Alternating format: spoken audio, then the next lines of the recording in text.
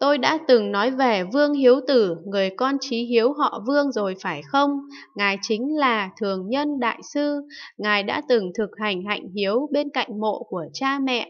Một hôm, Ngài đang trong định, thấy bọn cướp bắt đứa cháu của Ngài đi và sắp bắn nó, ở nơi cách Ngài Thường Nhân chừng năm dặm. Nhưng ngay khi tên cướp sắp bóp cỏ súng, thì từ trong định ngài thường nhân dùng tay gạt khẩu súng làm viên đạn không trúng người cháu nên nó chạy thoát được. Đằng sau sự kiện này có một con ma muốn cướp mạng sống của người cháu, chính nó đã khiến tên cướp đến bắt trói và tìm cách giết đứa cháu. Đó là những liên hệ nhân quả. Ma tìm cách giết đứa cháu, nhưng ngài thường nhân cản trở nên ma chỉ biết đứng sau lưng ngài, chứ không làm gì được ngài. Nó liền tìm đến người em trai ngài là Vương Nhị Gia chiếm đoạt người này thế người anh. Vương Nhị Gia tay cầm dao, đến mộ tìm ngài thường nhân, nó định tự sát trước mặt ngài.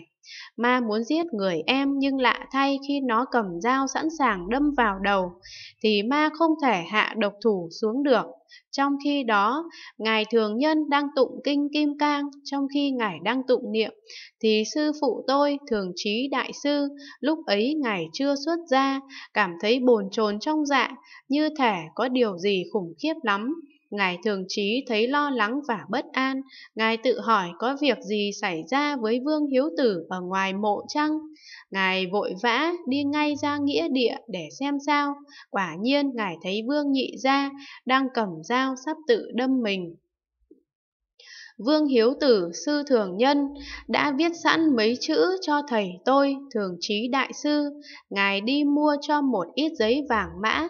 Theo phong tục của người Trung Hoa, người ta đốt giấy vàng mã cúng cho người chết. Tôi sẽ tụng kinh Kim Cang cầu nguyện cho hồn ma này được siêu độ.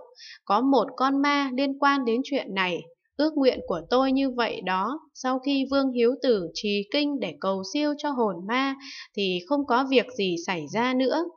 Tuy nhiên, đây chỉ là ví dụ về một loài ma mà ta đang bàn luận, nhưng trong trường hợp này ma đến vì nó muốn đoạt mạng người, không phải vì công phu tu tập vì Vương Hiếu Tử trong khi tu tập vẫn còn quan tâm đến duyên sự của người trong thân quyến, Ngài đã ngăn chặn được việc loài ma này muốn giết người em trai, ma không thể giết được Vương Hiếu Tử, vì Ngài có định lực và không khởi vọng tưởng, nên ma không thể làm gì được Ngài, mà lại đến hại người em. Thích được tự sát, thích được chết đi, hoặc thường yêu sầu, Giờ đây quý vị đã được nghe giảng đoạn kinh này rồi, hãy cẩn trọng, đừng âu sầu suốt ngày nữa. Đừng luôn miệng kêu than và cảm thấy phiền muộn nữa. Nếu quý vị cứ cảm thấy buồn nản, thất vọng, thì loài ma này sẽ đến chiếm đoạt thân xác quý vị ngay. Điều này xảy ra là do một phần năng lực của loài ma và một phần do chính tâm quý vị. Ma lợi dụng tinh thần của quý vị mà hành động nếu tâm quý vị an trụ trong chánh kiến thì sẽ không có vấn đề gì xảy ra, nhưng nếu tư duy của quý vị không được chân chính thì sẽ bị ma sai sử. Nếu nó nói với quý vị hãy buồn giàu đi, quý vị trở nên buồn giàu cho đến khi chạy trốn vào trốn thâm sâu, lẩn tránh hết mọi người. Chạy vào rừng sâu không thích gặp người khi thiếu tránh định sẽ bị đoạn lạc. Người như vậy chắc chắn trong tương lai sẽ bị rơi vào địa ngục.